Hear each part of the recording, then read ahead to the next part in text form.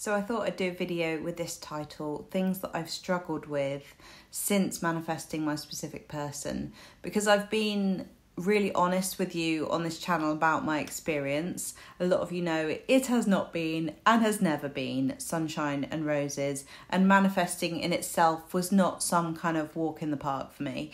It was hard, and then all of my stuff, all of my stuff came up in our relationship, and actually, I want to share with you some of the things that I think are a bit of a hazard when manifesting a specific person that I hope that you can avoid because there were things that really made my relationship a lot harder.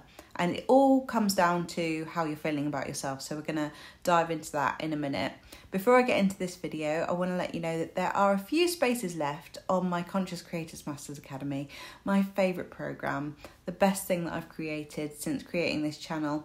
It is a very powerful program for anybody who wants to dive into themselves, into their narratives, into the things that are holding them back, really shine a light on what is stopping you from creating the relationships the relationship dynamics, the abundance that you want in any area, really. So, if you like any information about that, please let me know. I'm doing free one to one discovery calls for anybody who is interested, where you can tell me about you, we can talk about the program, you can ask me any questions, and really that's a chance for me to get to know you and you to get to know me and the program and how it can help you. So, if you would like to do that, just let me know. Okay, so things that I've struggled with since manifesting my specific person. I would say the first thing that happened that I didn't realize was hard, but actually was very hard, was that I didn't know how to give up manifesting. So, on some level, when I was manifesting my specific person, I thought I had to. Otherwise, he would never choose to be with me, and it was all on me. And really, all that was was very, very low self esteem and very low self worth. I didn't think much of myself. And I thought, if I don't do something, he will never come after me. He'll never chase me. I might lose him forever. I've got to do something. And when we got together, okay, so some of the manifestation techniques that I did, they blew my mind because things like visualization and inner conversations and all of this kind of stuff. I mean, I was literally seeing things that I'd manifested happening over and over and over again. But that made me think that it was all on me and that I couldn't stop manifesting. Otherwise, our relationship would just go down the drain. And so it, it kept me in a state of stress. It kept me in a state of, oh my God, I've got to watch my thoughts. I've got to um, think positively. I can't be anxious, otherwise, that's going to manifest whatever I'm fearing or worrying about. And it just meant that I was very hyper vigilant to my own mind all the time. And to be fair, like when you're changing your neural pathways and you're changing your inner experience, there is hypervigilance because otherwise you just go on autopilot thinking and believing the things that you did whenever you know you were going around in circles. So there is a bit of hypervigilance that's kind of involved whenever you're becoming more conscious and aware of your patterns and stuff. So that's you know partly normal. But i think what i found really difficult was that i couldn't let go and i couldn't believe that actually he just wanted to be with me you know, it was his choice too. It wasn't me making it happen the whole time. Everything was not all on me. And I just found it really hard to stop manifesting. And I think this is one of the hazards and one of the things that you can remedy by really sitting with the idea that you're good enough now and that actually there's nothing you need to do to prove your worth, especially to this person. You don't need to prove that you're good enough. You don't need to do some magic trick to make them want you, love you, come after you. Okay, it is it is being able to sit with I'm enough and I've done enough and I can put this down. At least playing with that while your nervous system gets used to it.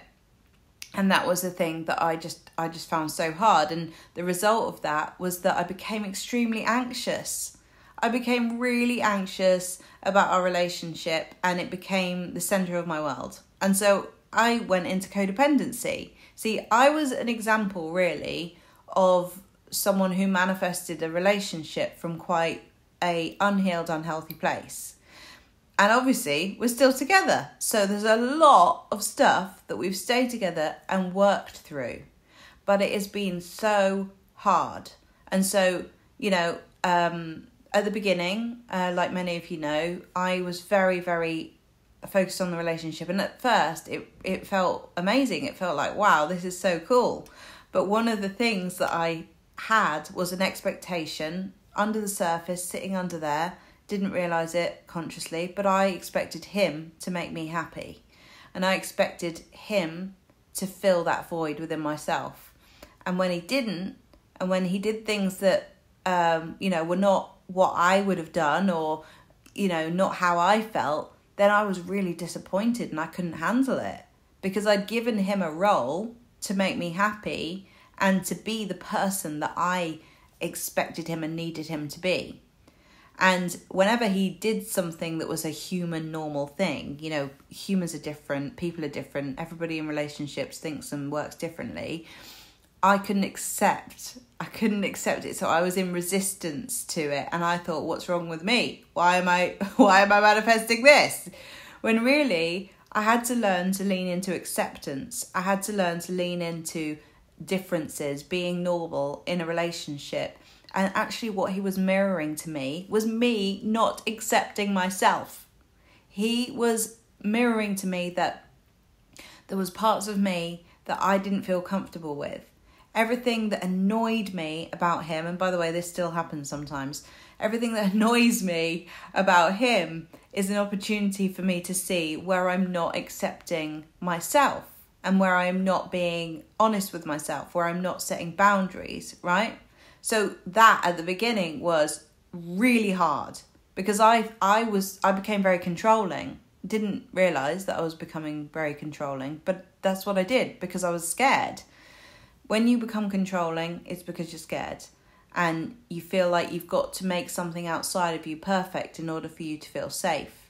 So these are the things that I did, and these are really the sorts of things that we talk about quite a lot on the Conscious Creators Masters Academy. That perception shift of becoming the safety that you need, and really breaking the tie and detaching from someone outside of you, making you happy and having that role. When we give someone a role like that, we are inevitably going to be disappointed and pissed off at them, right? Because it's an unrealistic expectation. And this isn't to say that along the way I haven't been amazingly surprised with beautiful things that have happened, um, ways that he surprised me in in in ways that I couldn't imagine before. That uh, so completely polar opposite to the way he was before when he was just so incredibly avoidant that he wouldn't even speak to me on the phone or ever actually. You know, it's a very different scenario now. So there are things that are amazing, but what I was met with was all the ways that I had not loved and accepted myself. And that has literally so many symptoms. Like it has so many symptoms that show itself in a relationship through another person. They just mirror to you where you're not loving yourself. The other thing that I have struggled with so much and I found really, really hard was that because I'd focused so much on the relationship before we were in it, really thinking that was the remedy to my unhappiness, that when we were in it, all of the things that actually had been making me happy, like, you know, focusing on my music, being with my friends, knowing how, um, just, just prioritizing my own needs and things, that kind of really went out of the window so that I could focus on him. And I did all the classic mistakes, codependent mistakes, to try and be the perfect girlfriend, try and make him happy so that I would feel good about myself. It was all control.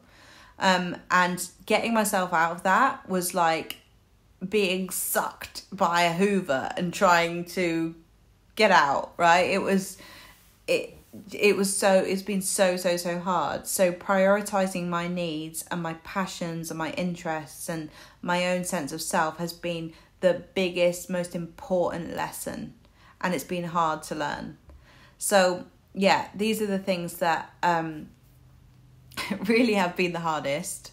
And i hope that i can tell you about them so that you can prioritize them now so that you don't have to go through what I went through. I feel like because of everything that I've been through, and you know, it's very hard to express to you sometimes how really hard it's been. Um, because you know, I'm sharing my lessons, I'm sharing the things that um, I've I've learned from, which inevitably were hard. And what I'm grateful for is that it has made me very deeply understanding and very deeply um, empathetic towards people going through this. And that's why I think we have such great conversations on the Conscious Creators Masters Academy and uh, in my coaching. And I feel like it's it because of this experience, I've drawn people going through a similar thing and similarly have an expectation of a specific person and um, want to manifest a relationship, also deeply understand that.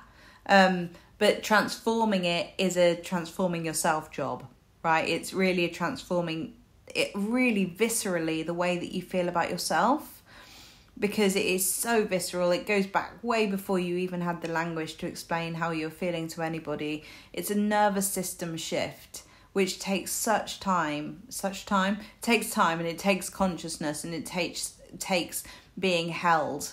And that is really what we do in the Conscious Creators Masters Academy.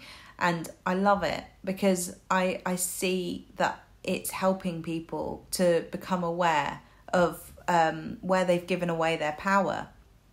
Um, and I really had given away my power so much I really, really had given away my power to Johnny, and um, and it made me very unhappy. It made me very, very miserable, and um, it's taken me such a lot of time to be able to pull myself out of that and remember who I am again, and actually know who I am more than ever before.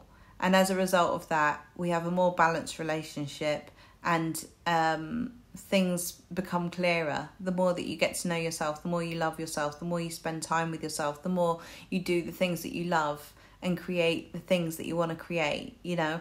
So yeah everything changes. And th- there are things that at the beginning of our relationship honestly i was so held on to our relationship.